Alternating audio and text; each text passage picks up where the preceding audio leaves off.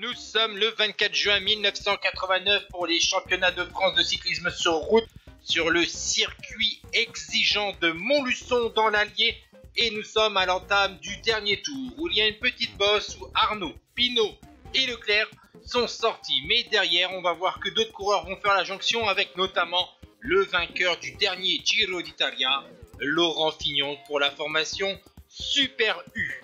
Ensuite, d'autres attaques euh, vont se faire sur ce dernier tour de circuit, notamment à plus de 11 km de l'arrivée où 10 coureurs vont constituer un joli groupe avec une quarantaine de secondes d'avance sur ce qui reste du peloton.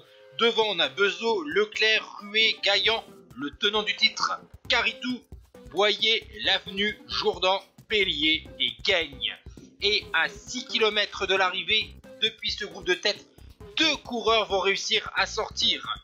Laurent Bezo de la formation Toshiba, vainqueur du Tour de Vendée et cinquième du Dauphiné, et le tenant du titre, Eric Caritou de l'équipe RMO, troisième du Tour du Vaucluse, septième du Dauphiné et huitième de Paris-Nice. Comme vous voyez, ce dernier kilomètre est exigeant et Eric Caritou lance de très loin le sprint. Bezo ne peut pas suivre et Eric Caritou s'impose après 260 km de course dans des conditions assez chaudes quand même et donc décroche un deuxième titre de champion de France consécutif devant Bezo.